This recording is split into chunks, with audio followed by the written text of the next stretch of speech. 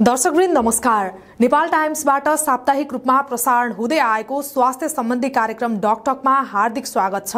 म सञ्चिता श्रेष्ठ। नेपालमा मृगौला रोगीका बिरामी हरेक वर्ष बढ्दै गएका छन्।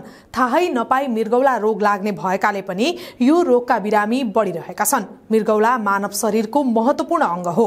मृगौलाले हाम्रो शरीरमा रगतमा भएको फोहोरलाई पिसाबको माध्यमबाट बाहिर पठाउने काम गर्छ र रगतलाई सफा राख्छ।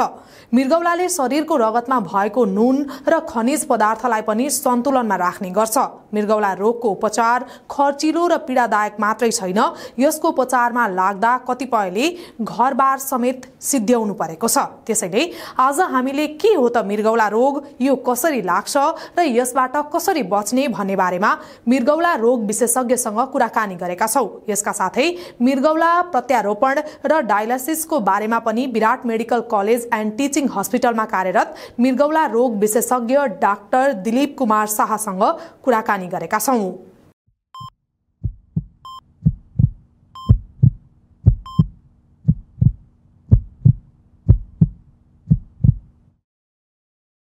कार्यक्रम डक्टरमा यहाँलाई हार्दिक स्वागत छ थ्याङ्क यू थ्याङ्क यू पछिल्लो समय नेपालमा मृगौला पीडितहरूको सङ्ख्या बढ्दै गएको छ। डाटामा हेर्ने हो भने करिब दस प्रतिशत तिस लाखको हारा वर्ल्ड वाइड हजुर चाहिँ नै मृगौला रोगीहरू देखिन्छ यो तथ्याङ्कलाई केलाउँदाखेरि नेपालको आम सर्वसाधारणको जीवनस्तर यहाँको कानुनी प्रक्रिया विभिन्न जटिलताहरू रोग आ- मृगौला रोग आफैमा पनि जटिल हुन सक्छ। एक्ज्याक्टली कसरी लिनुभएको छ?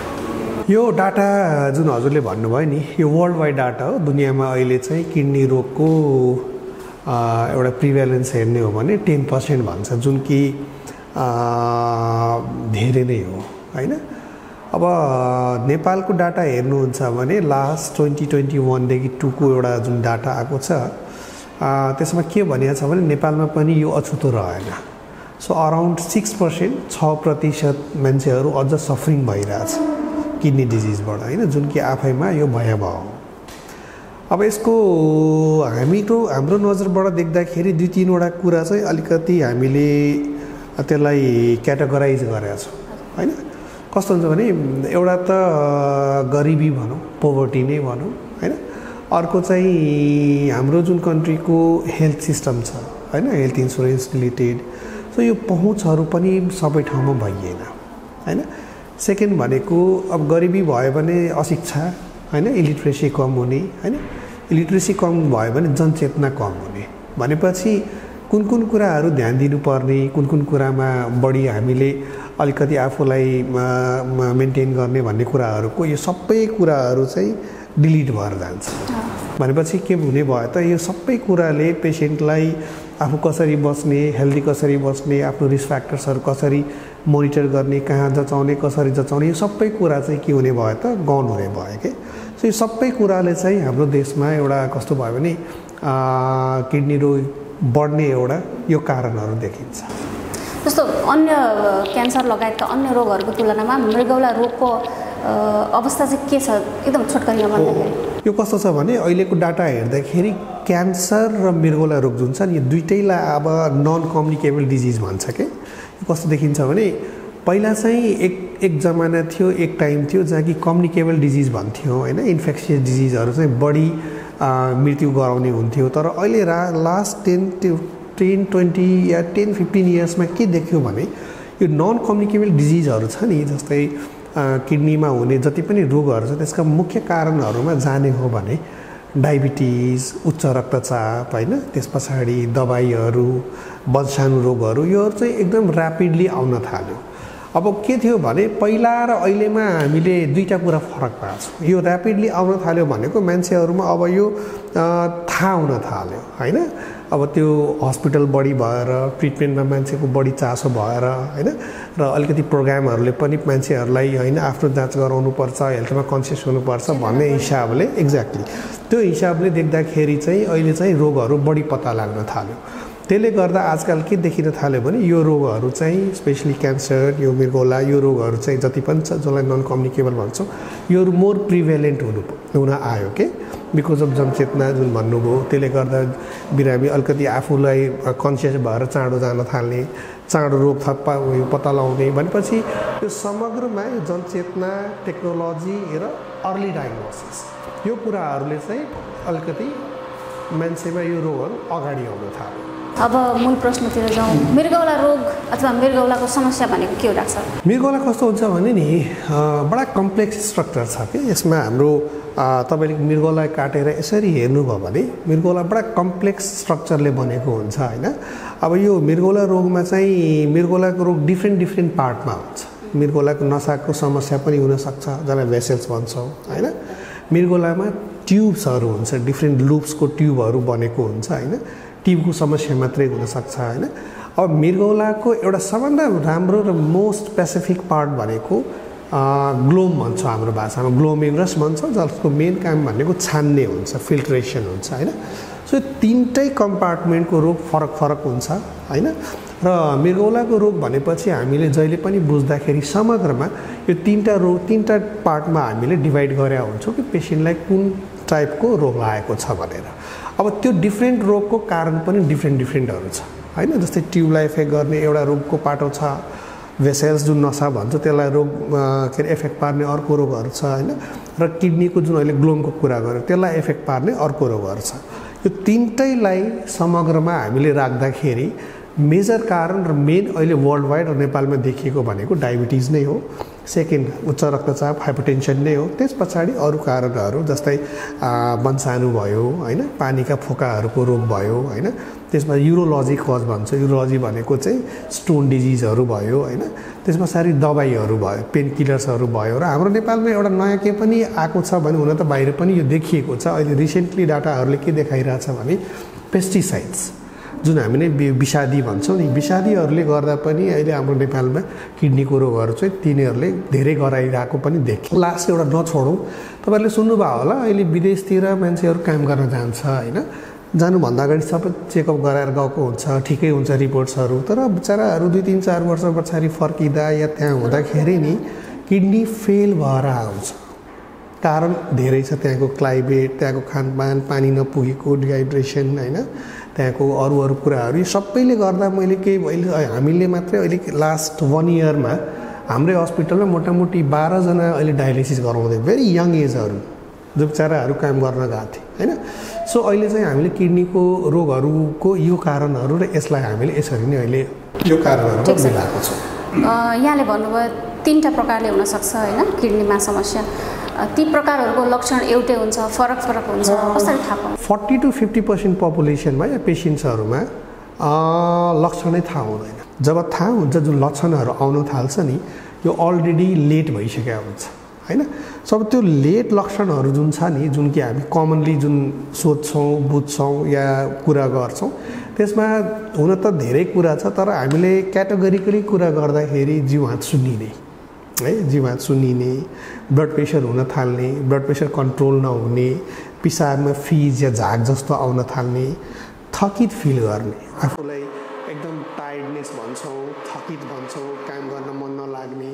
कहिलेकाहीँ सास पर सासको समस्याहरू पनि आउँछ जस्तै कि अलिकति पनि हिँड्यो भने स्याँ स्याँ हुन थाल्ने होइन? यस यस यस अर्को भनेको छालाको समस्याहरू। पेसेन्टलाई बिस्तारै हेर्नु हो भने पहिला त डार्क हुँदै जाने चिलाउने वक वकी बढी लाग्ने दुब्लाउँदै जाने यो सबै हामीले मृगौला रोगको लक्षणमा लिन्छौँ। अब यो सबैलाई यो सबै हुन्छ भन्ने छैन फेरि। यो डिपेन्ड गर्छ अब किडनीको कुन स्टेजमा छ रोगी होइन?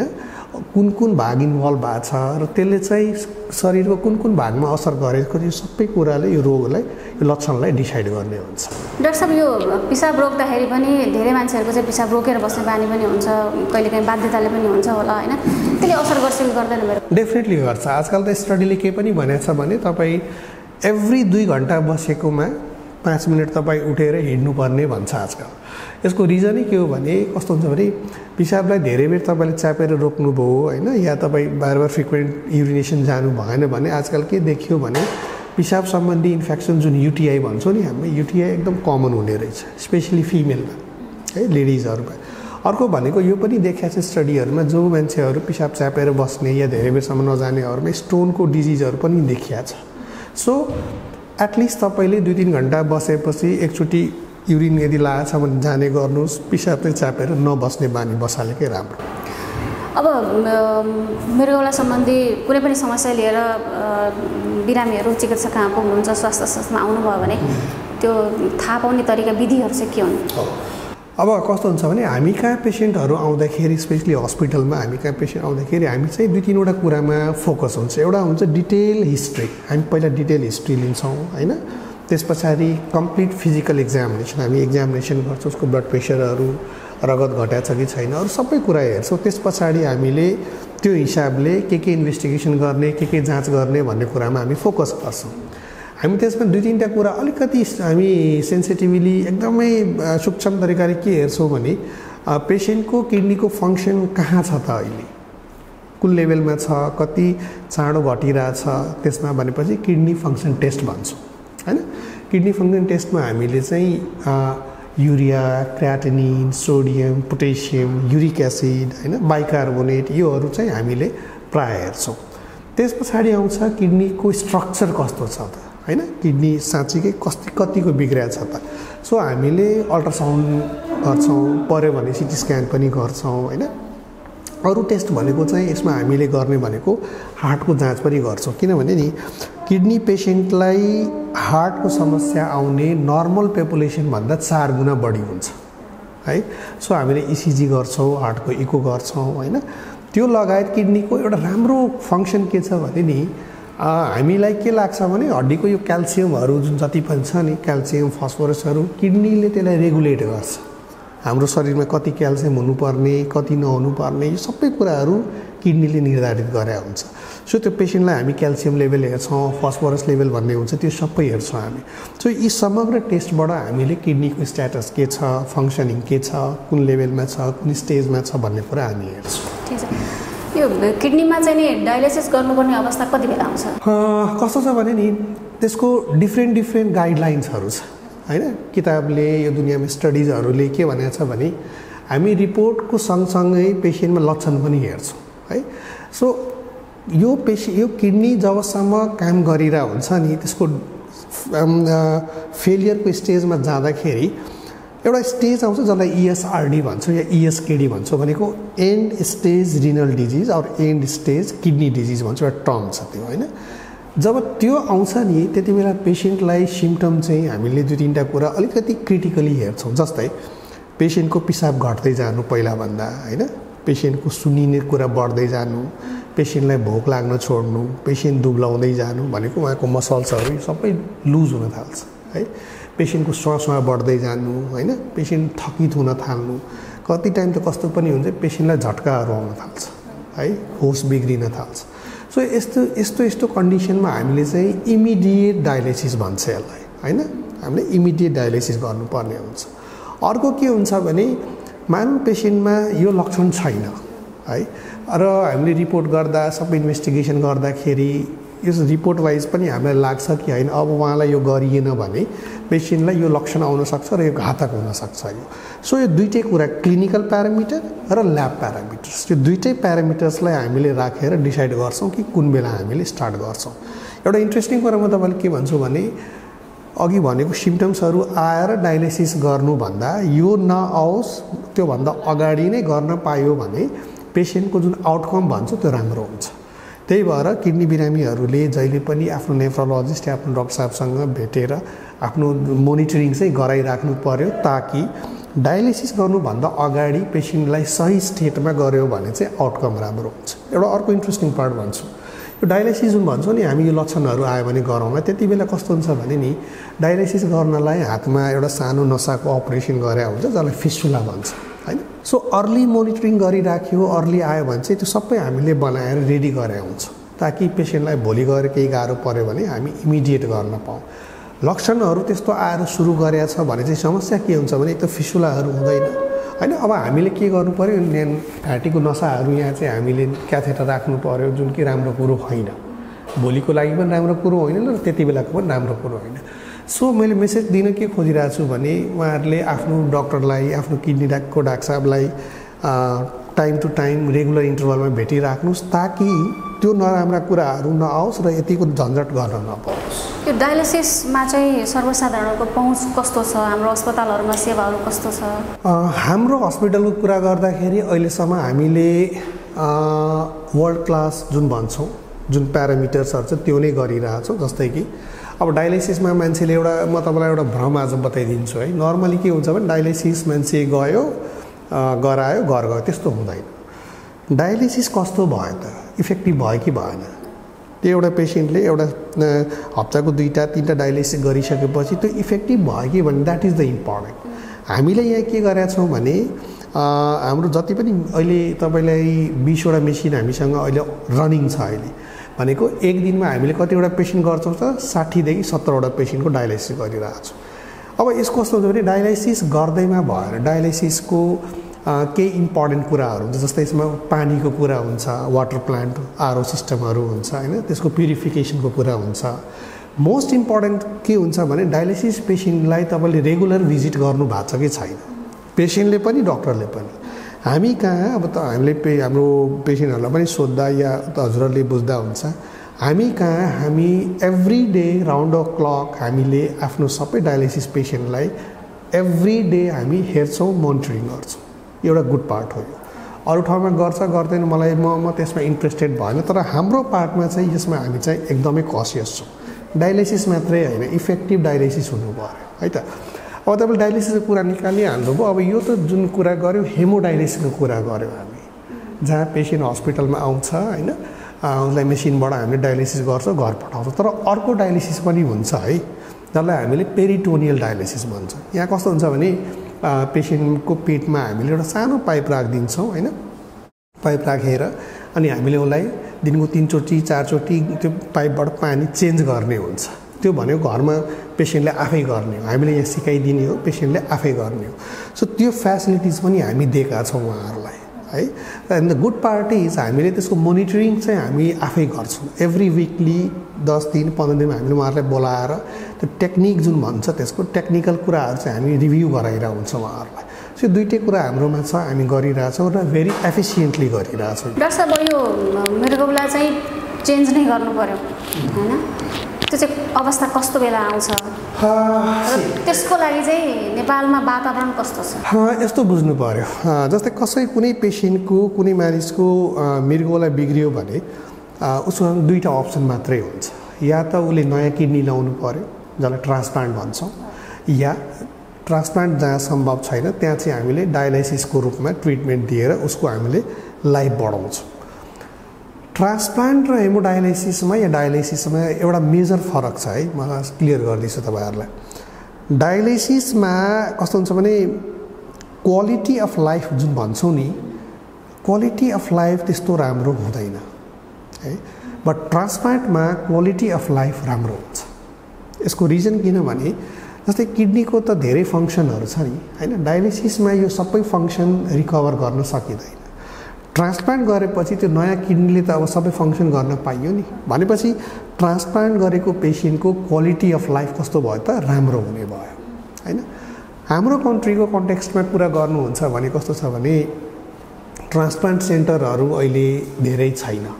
प्राइभेटमा पनि कम छन् गभर्मेन्टमा पनि छन् तर यो जुन डिमान्ड र रिस्क डिमान्ड र सप्लाईको जुन कुरा छ नि यहाँ यो धेरै ठुलो ग्याप छ।